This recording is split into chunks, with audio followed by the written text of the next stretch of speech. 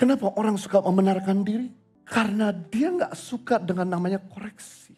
Dia nyaman dengan pujian. Setiap kita senang dengan namanya pujian. Kita nggak suka dengan namanya dikoreksi. Karena dikoreksi itu melukai. Dikoreksi itu menyakiti. Sedangkan pujian itu menyenangkan.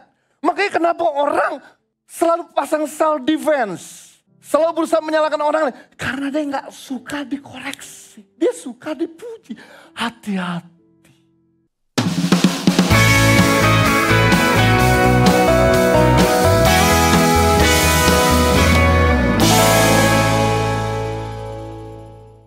Yang kedua, mengapa manusia suka membenarkan diri? Karena kita adalah manusia yang suka dipuji. Kita nggak mau dipermalukan. Kenapa orang suka membenarkan diri? Karena dia nggak suka dengan namanya koreksi. Dia nyaman dengan pujian. Setiap kita senang dengan namanya pujian. Kita nggak suka dengan namanya dikoreksi. Karena dikoreksi itu melukai.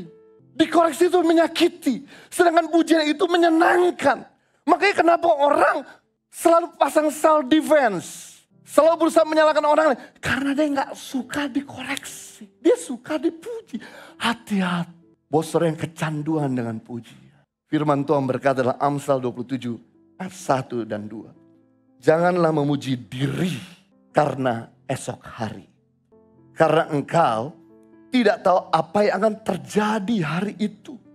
Biarlah orang lain memuji engkau dan bukan mulutmu orang lain yang tidak kamu kenal dan bukan bibirmu sendiri.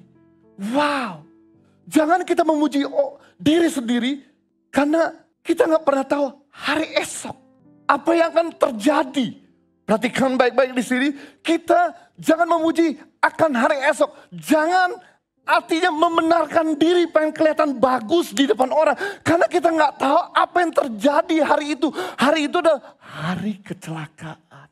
Hari ngalami musibah. Karena ini orang yang suka pujian buta akan malapetaka. Dia nggak peka dengan hari malapetakanya. Dia nggak peka pada hari kecelakaannya. Karena dia terus didampingi sama dia selalu dekat dengan orang-orang yang selalu berkata yes, you okay, you right. Tapi dia nggak tahu bahwa dia ada di bibir jurang. Makanya no wonder orang-orang model begini biasanya akan mengalami banyak kecelakaan, banyak musibah, banyak hari yang sial. Saya beritahu sama saudara, kita ini nggak pernah tahu satu hari ke depan apa yang terjadi, satu jam ke depan apa yang akan terjadi. Eh, saya beritahu, bahkan satu detik di depan kita, kita nggak pernah tahu apa yang terjadi. Itu sebabnya penting di sini untuk kita dikelilingi sama orang-orang bukan suka puji kita, tapi berani tegur kita. Hei, kalau kamu benar, Tuhan pasti punya kepentingan buat kamu. Tuhan akan pertahankan kamu tetap hidup di planet ini. Karena Tuhan masih mau kerja sama sama kamu. Tapi kalau kamu udah diberitahu sama firman Tuhan dan orang lain. Nggak mau berubah juga. Buat apa lagi kamu hidup di planet ini nambah dosa. Nambah kesalahan. Itu sebabnya biarlah sama Tuhan dicepat dijemput yang notabene belum waktunya dijemput, dijemput. Supaya kamu jangan masuk neraka, biar masuk surga aja.